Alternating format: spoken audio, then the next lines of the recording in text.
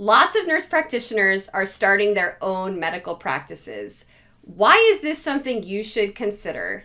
There's so many benefits to being the sole proprietor of your own medical practice, and I'm going to review some of them right now.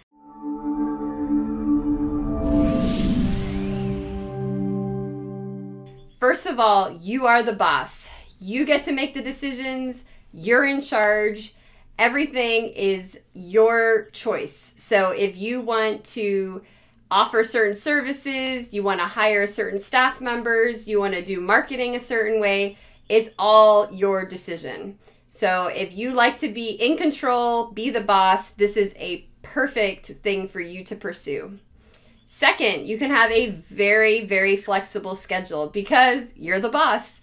So if you want to take Fridays off or take a half a day on a Wednesday to go take your kid to the amusement park, you can do it because nobody is um, dictating your schedule. You're in charge. Third, money is more in your pocket. You're not having to give a cut to the boss because you are the boss. So you decide how much you want to work, what services you want to offer, which will dictate how much money you ultimately make. So it's a lot easier for financial planning and determining sort of the fate of your finances.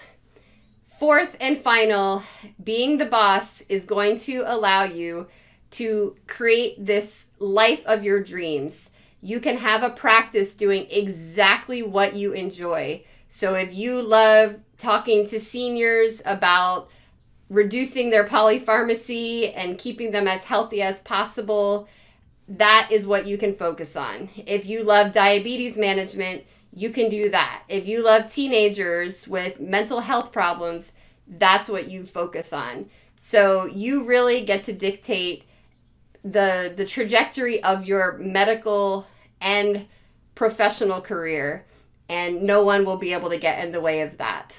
Hopefully this has inspired you to really think about breaking out on your own, doing your own thing, being your own boss, making your own money, treating patients the way you want to treat them with the conditions you enjoy treating.